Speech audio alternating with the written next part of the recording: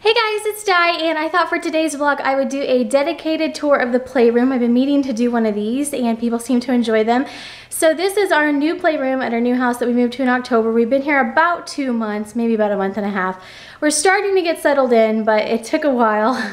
but we, the playroom was really the first room that was set. So this room was really one of the main draws for getting this house. If you saw the vlogs during that time period, I think everyone kind of knew that right away. But we're really enjoying having this room, and it's nice having the playroom on the lower level. If you guys remember at our last house, the playroom was on the upper level. It was kind of like a loft area. So this is nice having it on the main level near the kitchen and the family room, which is right here behind me, kind of one of the main gathering areas where adults might be and that sort of thing. So I will show you the new playroom. So this is what the playroom looks like from the family room and this is kind of a room that we use for a lot of different things, kind of sitting and conversating and also watching TV and that sort of thing. So as you walk into the room back here, it's a nice big open space, and I will say that I do think that they have a few too many toys in here, so we're going to be editing some things out, and Christmas is coming up as well, so we're going to be getting rid of um, some things, donating some things, and also rotating out some things.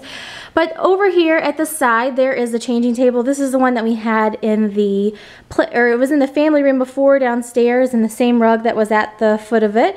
And then we just have our smile sign was also in the playroom. We've also just been keeping their little vacuum cleaner over here in the corner, seems to work well, and their little play tunnel, which folds out into like a six foot tunnel over here next to the diaper genie. It just works well over there. Then right as you walk in, there's their little activity table. They use this for coloring and doing worksheets. We added the two additional chairs for when they have friends over that have Mickey and Minnie sitting in them right now. And that has been working out pretty well. Natalie actually prefers sitting in those chairs for whatever reason. Um, but this is where their activity table is. And that works especially well because we have our office area over here, which our cat is using right now. Um, but when I'm doing copies and things like that of their worksheets, we have all their learning area over here, which I still need to get this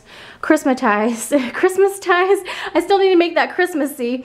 Um, but when I'm doing worksheets, all their workbooks and things like that are over here, so I can easily grab a workbook, take it over to the printer, make a copy, and then um, take it over to their table. So all of their learning supplies are over here. This is basically all the same um, from my learning supplies tour, but we change the date and have our calendar here when we're doing our different learning activities. We have them up on this board. Uh, I need to get to a teacher supply store and change it over to like a winter Christmas theme. All of their flashcards and things like that are in here. We have a board game, I Spy board game, and some flashcards in there. And then there are different learning books and then just extra books down here along the bottom shelf. So that works really well as kind of our learning storage station. And uh, they also have their little baby doll that Natalie got for her birthday. They push that stroller around and really like it. So that's over here on this side of the room. Then as you kind of walk into the room, I tried to group it into different stations. There's their art easel here over here to the side, and it's kind of by the window so they can look out and do things over here. So all of their little wheeled items are parked over here, and that's right next to their dress-up station area. They've got their little Build-A-Bear little armoire here, which has all their Build-A-Bear clothes and American Girl doll clothes over here. And then their dress-up station, which my husband made for them, hanging all of their dresses on it and their hats, which is a little bit disarray, but this is our most used item in the room. I would say 100%. The girls use this every day. And then we also got this cute little washer and dryer set. Um, this was inherited from one of their cousins that used it, so I'm not sure uh, what they have currently available, but this is by Little Tikes. Uh, somebody was asking, and it's really cute. It's got like a little ironing board over here, and then the washer and the dryer spins. They can actually put things in there and pretend they're doing laundry, so that's super cute. So this is kind of like our uh, dress up and imaginary station over here. The rug that I got for over here is, well actually this was going to be on the other side of the room, but I got this little car rug at Target and they like driving cars on that.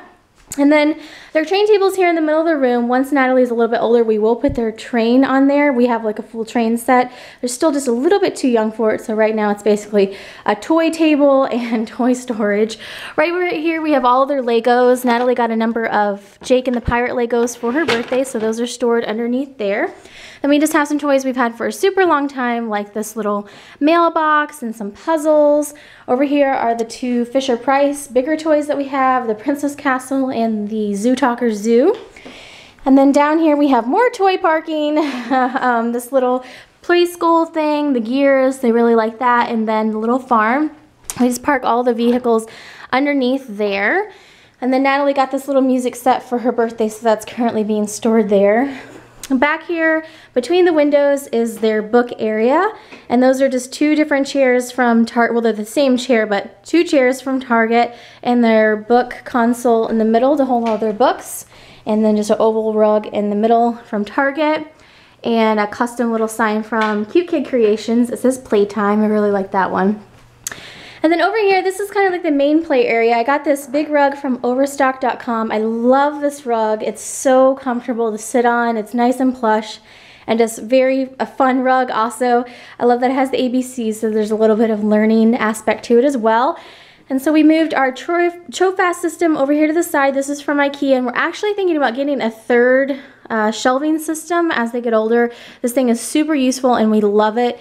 It's worked out really, really great. So we're thinking about getting a third one and putting it possibly right over there where their little mini kitchen is, which that's a baby toy, so that's probably on its way out. And then there's Natalie's little plain thing that she got for her birthday. But right now we're using the top of the Trofast to store some of their dolls that they have out. And then we also have their artwork thing here hanging over the top of the Trofast system on this wall. Their kitchen, which looks extremely tiny in this room, I'm really kind of kicking myself that I didn't get a bigger kitchen. I'm wishing that I would have got a bigger kitchen because when both girls are trying to use this, this kitchen is really not big enough. Um, but their kitchen is over here to the side. And then they have their two car things. There's one here in this corner, and then also their kind of loop-de-loop -loop one here. And over here is kind of like the princessy girly station. This has all of their like girly items stored in this. And so this is their little vanity that makes fun noises. All of their Minnie Mouse uh, dress up items. Their kind of cupcake and tea party items. And down here are all of the different stuffed animals. And if you guys missed the Trofast review, um, all of their cars that go with the different car things are in a bin. All of their princesses that go with the princess castle are in a bin.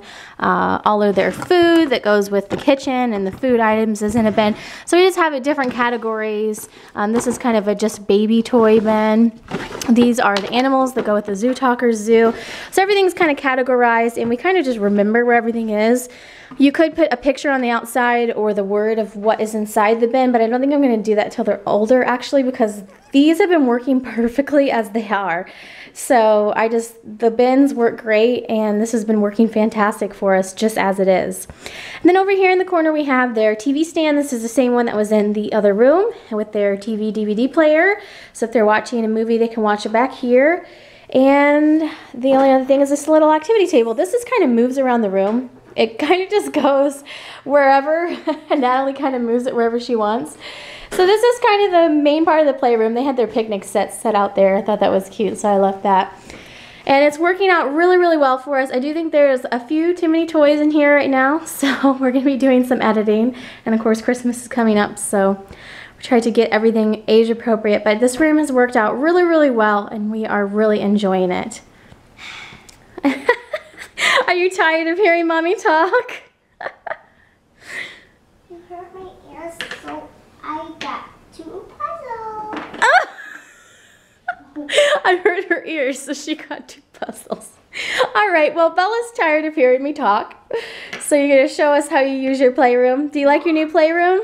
And I'm going to show you how to be a bigger. Set my crayons in the place that I knew so I cannot change the right order. All right. so you're going to put your crayons in the right order. Good job. So that is the playroom at the new house, and I will be sure to update in future updates just to kind of show you what it's looking like, but we are really, really liking it. It's a great space for the girls, and it's uh, just a really nice space that I think can change with them as they grow. And we've had a lot of fun with it. So hopefully you guys have enjoyed this video, and thanks so much for watching. Have a great day.